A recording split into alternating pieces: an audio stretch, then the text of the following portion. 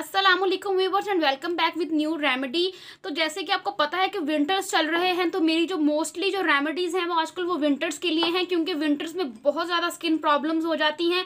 हमारे हाथ पाँव जो हैं, वो खुरदरे हो जाते हैं, खुरदरापन आ जाता है हमारे हाथों के ऊपर। हम कुछ भी अप्लाई करें, लेकिन हमारे हाथों की जो ड्राइनेस है, वो ख़त्म नहीं होती है। ठीक है तो आज जो ये मैं वैजलिन बनाने जा रही हूँ जेली है वाइटनिंग जेली इसको बोलते हैं। ये हम अपने हाथों, पैरों पे रात के टाइम अप्लाई करके सोएँगे तो इनशाला हमारे हाथों के ऊपर से जितनी भी ड्राइनेस है रफनेस है, वो ख़त्म हो जाएगी और हमारे हाथ बिल्कुल सॉफ्ट हो जाएँगे। तो चलिए स्टार्ट करते हैं अपनी रेमेडी विदाउट वेस्टिंग टाइम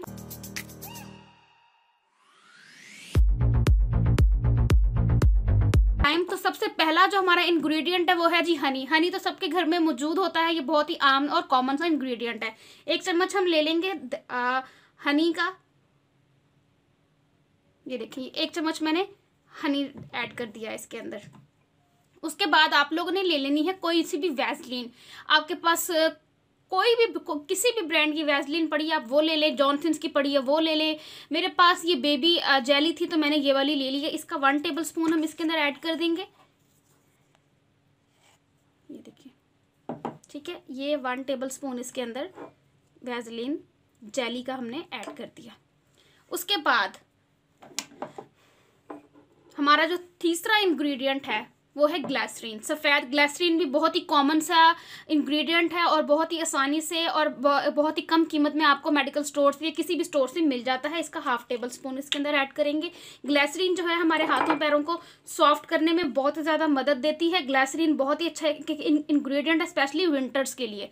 तो ये हाफ़ टेबल स्पून मैंने इसके अंदर ग्लासरीन ऐड कर दी है। उसके बाद हम लोगों ने इसके अंदर ऐड करना है vitamin E oil vitamin E अगर आपके पास ऑयल है तो आप इसके अंदर ऑयल ऐड कर दें। अगर आपके पास वाइटामिन ई अगर आपको क्लियरली नज़र नहीं आ रहा है तो मैं यहाँ से दिखाती हूँ। वाइटामिन ई ऑयल अगर आपके पास है तो आप वो इसके अंदर ऐड कर दें। नहीं है तो आपके पास जो ईवियन के कैप्सूल्स होते हैं, ठीक है, आप वो भी इसके अंदर ऐड कर सकते हैं। ये बिल्कुल हाफ़ टेबल स्पून हमने इसके अंदर वाइटामिन ई ऑयल ऐड करना है, क्योंकि हम वाइटनिंग जेली बना रहे हैं तो इसलिए वाइटामिन ई जो है वो आपकी स्किन को वाइटनिंग इफ़ेक्ट देता है। उसके बाद हम लोगों ने यहाँ पे लास्ट हमारा इंग्रेडिएंट है जी कोकोनट ऑयल कोकोनट ऑयल को पता है कितना कॉमन सी कॉमन सा ऑयल है और बहुत ही आसानी से मिल जाता है। कोकोनट ऑयल इसके अंदर ऐड करने का मकसद ये है कि ये बहुत ज़्यादा सॉफ्ट बनाएगा ड्राइनेस को ख़त्म करने में सबसे ज़्यादा मदद देगा। अगर आप यहाँ पर कोकोनट ऑयल आपकी स्किन को सूट नहीं करता है तो आप यहाँ पर ऑलमंड ऑयल कोई सा भी ऑयल जो आपकी स्किन को सूट करता है ऑलिव ऑयल ऑलमंड ऑयल या कोकोनट ऑयल कोई सा भी ऑयल आप इसके अंदर ऐड कर सकते हैं। अब इन सारी चीज़ों को अच्छे से हम हम लोगों ने मिक्स कर लेना है।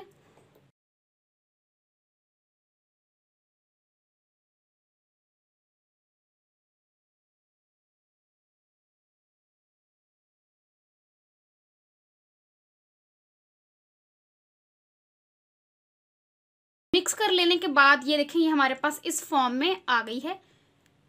ये देखें, कितनी ज़बरदस्त इस फॉर्म में ये हमारे पास बन के रेडी हो गई है। तो आपने इस तरीके से इसको बना के एक हफ़्ते के लिए स्टोर कर लेना है, ठीक है? एक हफ़्ते एक हफ़्ता आपने इसको लगा के चेक करना है। रिजल्ट्स इन ताला आपके सामने वाजिया होंगे। ये इतनी कमाल इन आपको ज़रूर बहुत ही अच्छे रिजल्ट्स देगी। तो आपको इसको अप्लाई करने का तरीका क्या है? ये देखें ये थोड़ा सा लगा हुआ है। स्पून के ऊपर हम यहाँ से ले लेंगे इसको। लेकर अच्छे तरीके से इसको हमने रात के टाइम अपने हाथों और पैरों पे अप्लाई करके सो जाना है। ये इनशाला आपकी स्किन की सारी प्रॉब्लम्स को दूर करेगा। ये बहुत ही अच्छा नुस्खा है। बरसों से लोग इस नुस्खे को सर्दियों में इस्तेमाल करते हुए आ रहे हैं, क्योंकि इससे बेहतर नुस्खा और कोई भी नहीं हो सकता स्किन की ड्राइनेस को ख़त्म करने के लिए। तो ये इंशाल्लाह ताला आपकी सारी प्रॉब्लम्स को दूर करेगा, आपने इसको ज़रूर ट्राई करना है और मुझे इसका फीडबैक भी लाजमी देना है। तो गाइज़ ये थी आज की रेमेडी जो मैंने आप लोगों के साथ शेयर की है। मैं उम्मीद करती हूँ कि आप लोगों को पसंद आई होगी। और अगर ये रेमेडी अच्छी लगी है तो जल्दी से कर दें मेरी वीडियो को छोटा सा लाइक और जल्दी से कर दीजिए मेरे चैनल को सब्सक्राइब। अपना बहुत सारा ख्याल रखिएगा दुआ में याद रखिएगा। अल्लाह हाफिज़।